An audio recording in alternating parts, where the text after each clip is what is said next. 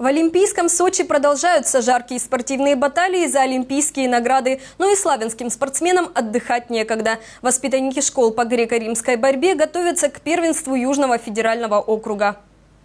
Греко-римская борьба – это один из старейших видов спорта. Она входила в программу первых античных Олимпийских игр, которые прошли еще в 774 году до новой эры. Надо отметить, что в этом виде спорта соревнуются исключительно мужчины. Во всем остальном она очень похожа на вольную борьбу. 1-2 марта в нашем городе в спортивном комплексе «Лидер» пройдет первенство Южного федерального округа по греко-римской борьбе среди молодежи. Приходите поддержать наших спортсменов. Победители и призеры соревнований отправляются отправится на финал России в Новосибирск. Торжественное открытие первенства состоится 1 марта в 10 часов утра.